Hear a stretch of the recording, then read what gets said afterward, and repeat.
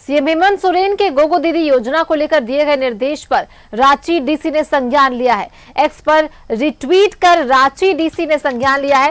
उन्होंने निर्देश का संज्ञान लेते हुए त्वरित कार्रवाई सुनिश्चित करने हेतु संबंधित को निर्देशित किया गया है। डीसी ने लिखा है।